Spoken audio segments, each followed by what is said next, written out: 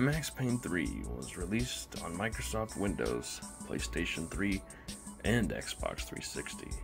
But those aren't really relevant because today we'll be playing it on this thing.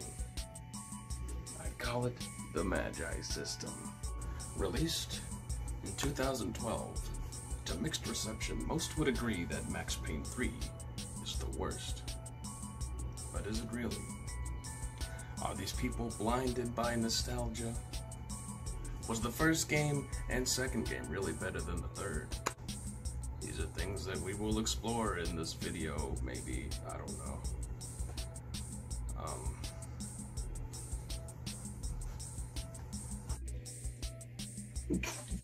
what is this? The script? Fuck this!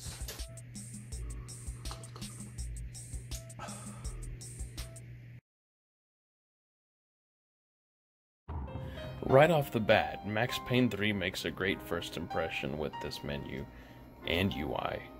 And it's different every time because as you progress through the game, the background image changes. Not to mention, the music is excellent, sounds great, and it's a really good rendition of the original Max Payne theme song. Very good. I like it. You fuckers, you pieces of shit, you fucking dog. The story follows our hero, Max Payne, as you might expect, who now suffers from severe depression and alcoholism, which I can relate to personally. So me, I, uh, ma- oh Max, Max, my me boy, Max. Our main character struggles to move past the death of his family that occurred in the very first game and in this opening sequence, Max is basically lying to himself and saying that this is a new start to his life. But you can tell that it ain't gonna be that easy, Max.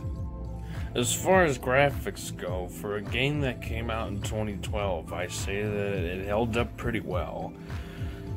There is a problem though, the pre-rendered cutscenes look kinda shitty and grainy I'm not sure what that's all about, but I guess they had to make it run on computers that weren't really capable of, you know, high-end 60 FPS shit and stuff. And the motion capture looks really weird too. I mean, look at this. Look at Marcelo. He's dancing, prancing around like a faggot, and he looks like a goddamn robot. It's scary. I don't like it. I don't like it. Get it out of here. Grow. One thing I forgot to mention is that this game takes place in Sao Paulo, Brazil, instead of the New York, New Jersey area that we're all used to. That's good, that's fine and dandy. I actually like the setting quite a bit. I'll go into more detail later uh, and stuff. But let's move on to the gameplay, okay?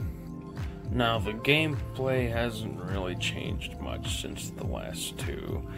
You could still use bullet time to own these these plebs, these these rookies and shit that don't know what they're doing. Fuck them up real good.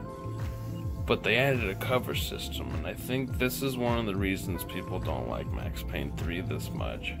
But the thing is, you don't even need to use the cover system, it's completely optional. If you know how to play the game good enough, you can just run and gun your way through the whole thing. And I like that. I enjoy running and gunning. I do it all the time, and um, it um. But about the game, yes, I, I you also run and gun in the game too. It's great.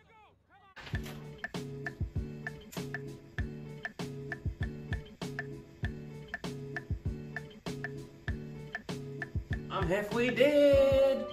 So this fucking dumb bitch Fabiana gets captured by Fab the fucking Commander Sombra. And Max Payne's gotta jump in like a big bat, biggest dick badass and, and shoot, shoot him, save the day. There's not really much else to say about this level game's basically showing you the ropes, showing you the mechanics, how to take the cover, and how to make the shooty McShine gun, the the the murder. And then that's basically it. You you run around and you do the murder, and it's good. There's these things in the game called clues, and you can click on them, and Max will say stuff about them. And I guess that was to, to give it a closer relevance to the other games. But you see, it in the first game, if you pick up a clue, they give you a whole comic panel, and it's like a whole minute worth of Max Payne dialogue, and it was awesome. It was great, and I liked it, and I, I liked it. Shh.